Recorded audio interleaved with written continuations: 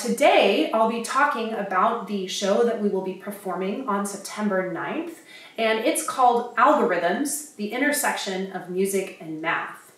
And in thinking about um, the theme of the Bellwether Festival, which talks about how technology has influenced the arts, I thought it would be really cool to pick some pieces perform or uh, written in the past five centuries, actually, and trace how math and technology has really impacted uh, compositional styles, the instruments that we play, and um, to kind of do a deep dive into the background of each piece. So usually when we go to a classical concert, we um, can read the program notes, but it doesn't always explore this specific angle of how technology influences the arts.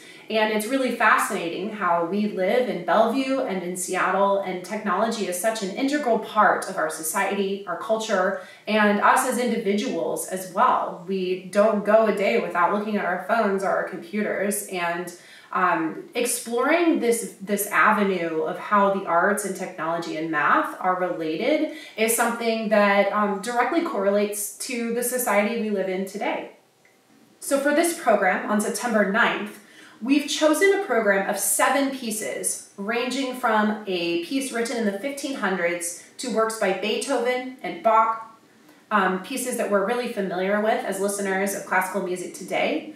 We'll also be playing three pieces by living composers um, who are Gabriella Smith, Missy Mazzoli, and Elliot Cole.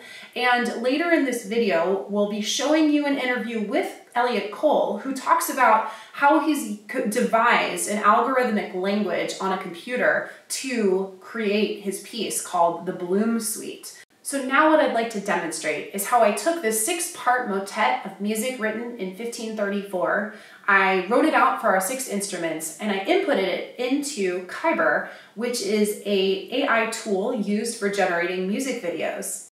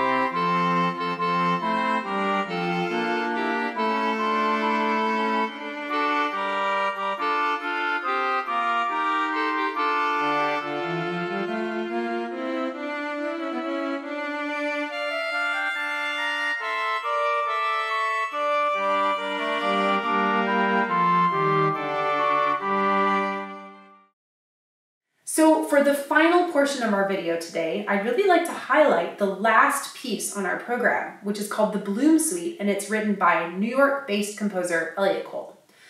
Elliot and I studied together at the Shepherd School of Music at Rice University. He studied composition and I studied flute.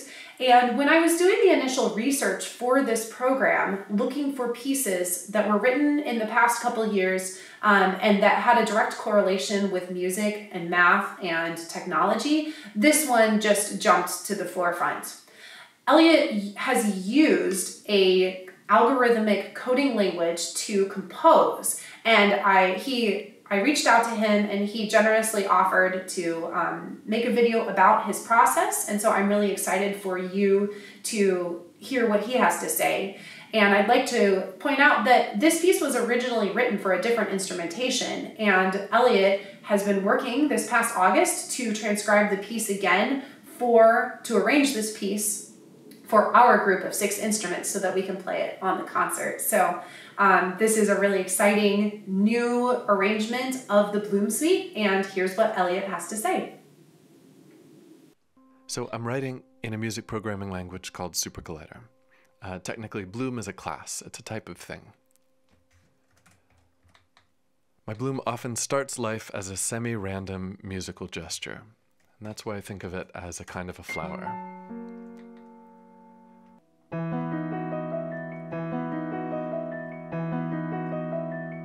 Thicken.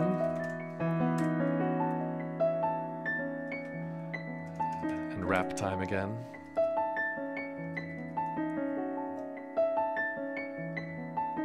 And let's sort them again.